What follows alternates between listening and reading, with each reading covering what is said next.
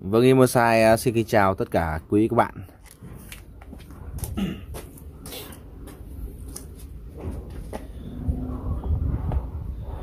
Vâng, à, thì à, cuốn video này thì Imosai chia sẻ với các bác là một cái cốt. Đây là một cái cốt khá là đẹp các anh nhé. Tổng thể thì ờ, uh, Emosai quay một vòng để cho các bác xem. Cốt xi này thì uh, chiều cao thì uh, so với găng tay này. Tầm 20 các bác nhé. Cái đường kính bệ của nó chắc khoảng tầm 20 25 26 đấy đây. 26 từ đây đến đây. Thì đây uh, chia sẻ với các bác là đây là một cái cốt xi là nguyên bản nhé.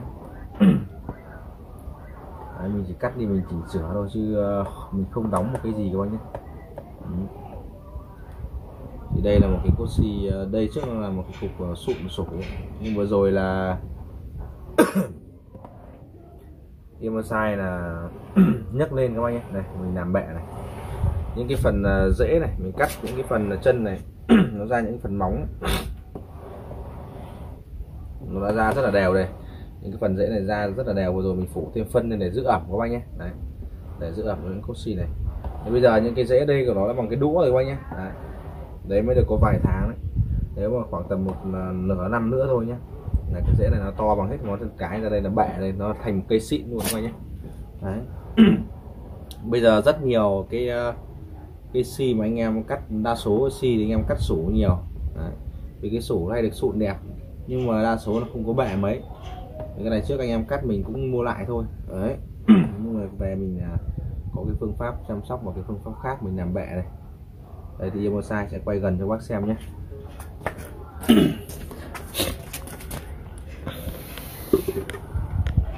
Đây các bác nhé. Đây những cái phần này các bác nhỉ.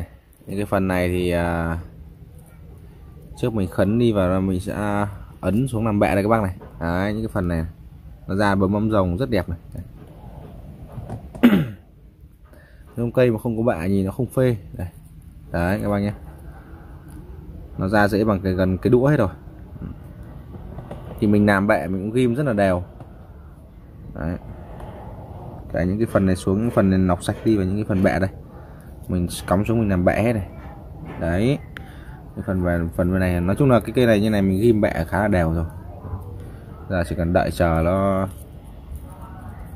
to thôi. Đây là một cái cốt xi uh, cục xi rất là đẹp các anh nhé. xem cái phần sổ ấy. Chưa rất nhiều đầu ấy, nhưng mà mình uh, cắt đi rồi. Mình uh, để lại một số cái đầu thôi. Đây các anh nhé. Mình sẽ lấy cái này làm ảnh đại diện. Đây cái mặt chơi đây nhé các anh nhé. Để các bác xem này.